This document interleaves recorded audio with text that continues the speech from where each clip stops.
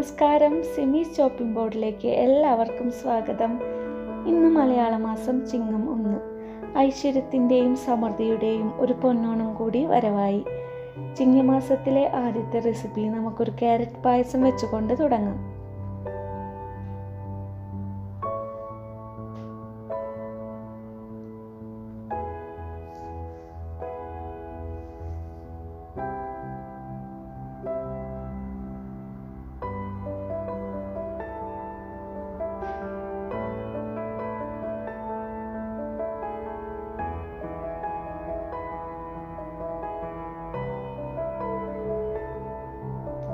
ഇനി നമുക്ക് പായസം ഉണ്ടാക്കാനായിട്ട് തുടങ്ങാം. അതിനു വേണ്ടി ഒരു കുക്കറിലേക്ക് അരിഞ്ഞു വെച്ചിരിക്കുന്ന ക്യാരറ്റ് ചേർത്ത് കൊടുക്കാം.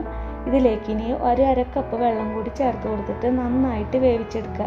ഞാനിപ്പോൾ ഒരു കുക്കറിലാണ് ഇത് വേവിച്ചെടുക്കുന്നത്.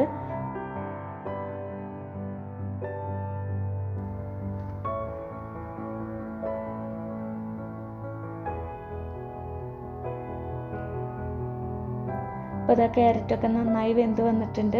ഇനി നമുക്കിത് തണുക്കാനായിട്ട് വെക്കാം. അപ്പോൾ ഇതാ ക്യാരറ്റൊക്കെ ഞാനൊരു മിക്സിയുടെ ജാറിലോട്ട് ഇട്ടിട്ടുണ്ട്. ഇനി നമുക്കിതൊന്ന് നന്നായിട്ട് അരച്ചെടുക്കണം. ഒട്ടും തരിയൊന്നും ഇല്ലാതെ നല്ല ഫൈൻ പേസ്റ്റ് ആക്കിയിട്ട് വേണം നമ്മളിത് അരച്ചെടുക്കാനായിട്ട്.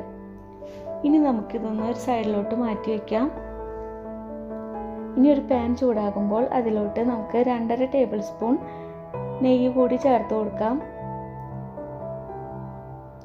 ഇനി അതിലേക്ക് കിസ്മിസ് ചേർത്ത് കൊടുത്തിട്ട് ഒന്ന് മൂപ്പിച്ചെടുക്കുക. അതിനുശേഷം നമുക്കതിലോട്ട് കാഷ്യൂ നട്ടും കൂടി ചേർത്ത് കൊടുത്തിട്ട് നന്നായിട്ട് ഫ്രൈ ചെയ്തെടുക്കണം.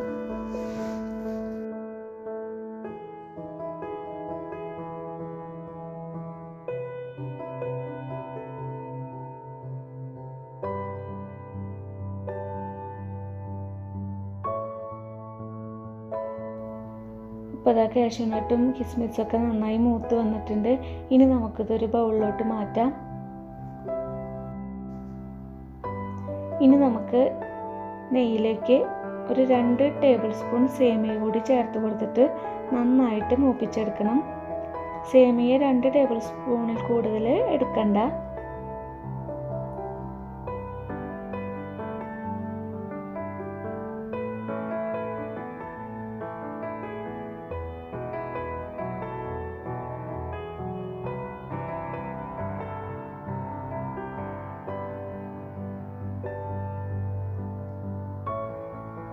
അപ്പോൾ അതാ സേമിയൊക്കെ നന്നായി മൂത്ത് വന്നിട്ടുണ്ട്.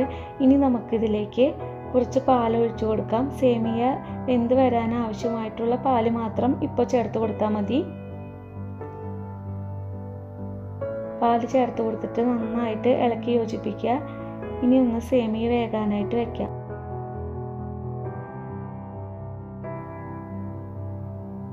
അപ്പോൾ ഇതാ സേമിയൊക്കെ നന്നായി വെന്ത് വന്നിട്ടുണ്ട്.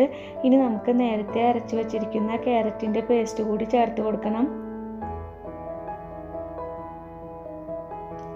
ഇനി ക്യാരറ്റിന്റെ പേസ്റ്റ് ഈ പാലിലും അതുപോലെ തന്നെ നെയ്യിലും കിടന്ന് നന്നായിട്ടൊന്ന് മൂത്ത് വരണം. ക്യാരറ്റ് നമ്മൾ ഓൾറെഡി വേവിച്ചതാണ്. എന്നാലും ഈ നെയ്യിൽ കിടന്നിട്ടൊന്ന് മൂത്ത് വരുമ്പോഴാണ് പായസത്തിന് നല്ല ടേസ്റ്റ് കൊടുക്കുന്നത്. അപ്പോൾ നമുക്ക് ലോ ഫ്ലെയിമിൽ വെച്ചിട്ട് നന്നായിട്ടൊന്ന് മൂപ്പിച്ചെടുക്കണം.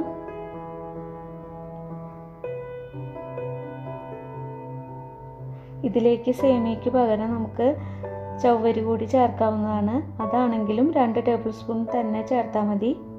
ഇനി ഇത് രണ്ടും ചേർത്തില്ലെങ്കിലും പായസത്തിന് നല്ല ടേസ്റ്റ് ഉണ്ടാവും. നമ്മൾ ക്യാരറ്റ് അരച്ചെടുത്തിട്ട് ചേർക്കുന്നതുകൊണ്ടാണ് സേമിയോ അല്ലെങ്കിൽ ചവ്വരിയോ ചേർക്കുന്നത്.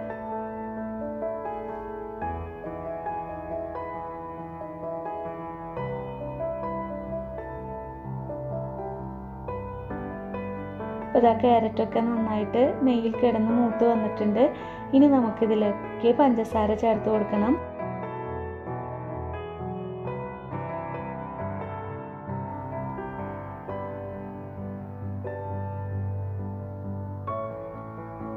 ഞാനിവിടെ മുക്കാൽ കപ്പ് പഞ്ചസാരയാണ് ചേർത്ത് കൊടുത്തിട്ടുള്ളത്. നിങ്ങൾക്ക് വേണമെങ്കിൽ ഒരു കപ്പ് വരെ ചേർത്ത് കൊടുക്കാവുന്നതാണ്.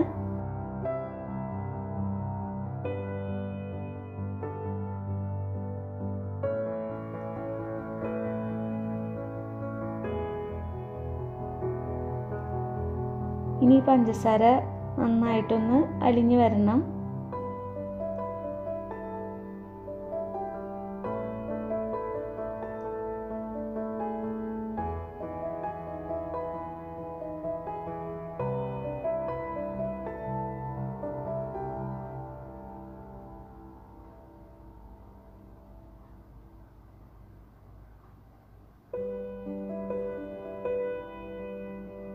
അപ്പോൾ പഞ്ചസാരയൊക്കെ അലിഞ്ഞിട്ട് നല്ല പാകത്തിനായിട്ട് വന്നിട്ടുണ്ട്. ഇനി നമുക്കിതിലേക്ക് അര ലിറ്റർ പാൽ ചേർത്ത് കൊടുക്കണം. ഇരുന്നൂറ്റമ്പത് ഗ്രാം ക്യാരറ്റിന് അര ലിറ്റർ പാലാണ് വേണ്ടത്. ഇനി പാലും കൂടി ചേർത്ത് കൊടുത്തിട്ട് ലോ ഫ്ലെയിമിൽ വെച്ചിട്ട് നന്നായിട്ടൊന്ന് ഇളക്കി കൊടുക്കുക.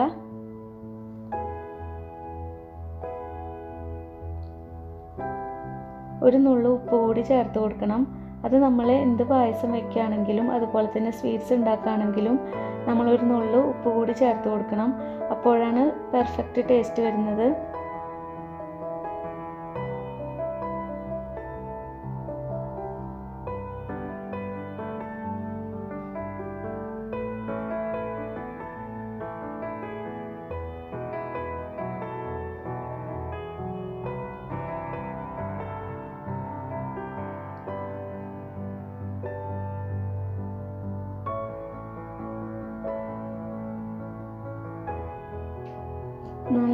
നന്നായിട്ട് ഇളക്കി കൊടുക്കുക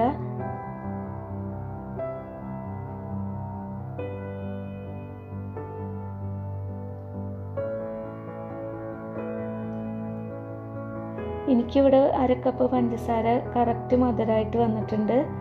ഞാൻ ഇതിലേക്ക് ഒരു ഒരു ടേബിൾ സ്പൂൺ കണ്ടൻസ് മിൽക്കും കൂടി ചേർത്ത് കൊടുത്തിട്ടുണ്ട്.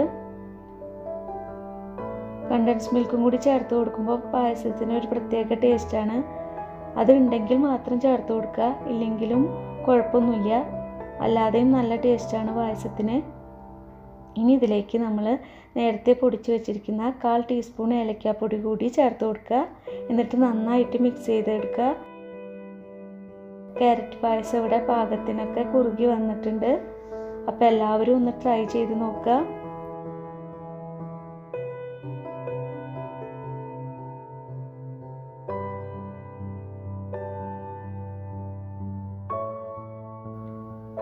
ഓണത്തിന് എല്ലാവരും ക്യാരറ്റ് പായസം തയ്യാറാക്കി നോക്കുക. ഇഷ്ടപ്പെട്ടാൽ ചാനൽ സബ്സ്ക്രൈബ് ചെയ്യാനും ലൈക്ക് ചെയ്യാനും ഷെയർ ചെയ്യാനും മറക്കരുത്. അപ്പോൾ നമുക്ക് മറ്റൊരു റെസിപ്പിയായിട്ട് വീണ്ടും കാണാം.